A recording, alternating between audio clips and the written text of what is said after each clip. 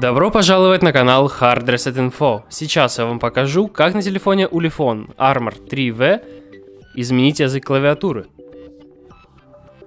Заходим в настройки, далее система дополнительная, точнее язык и ввод, виртуальная клавиатура, Gboard, языки, нажимаем добавить клавиатуру и выбираем язык, который хотим установить. Пускай будет, не знаю, что это за язык, пускай будет Zarma.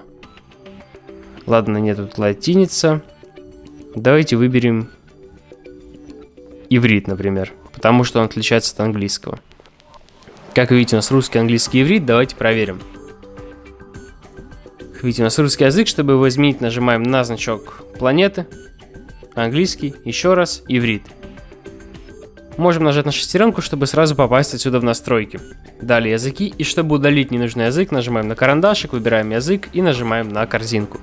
Как видите, язык пропал. На этом все. Ставьте лайки, подписывайтесь на канал, а также посещайте наш сайт hardreset.info. До скорых встреч!